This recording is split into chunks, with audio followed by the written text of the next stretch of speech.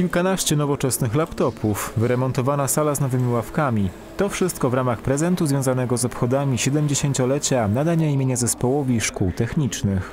Skończyłem tą elitarną szkołę 53 lata temu. Jestem z tego bardzo zadowolony. Po raz pierwszy byłem w życiu szczęśliwy, że mogłem to elitarne technikum skończyć.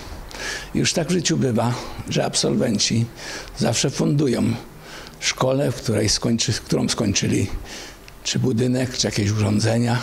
Tym razem padł na pracownię multimedialną. Uroczyste otwarcie odbyło się na szkolnej auli. Taka sala była bardzo potrzebna.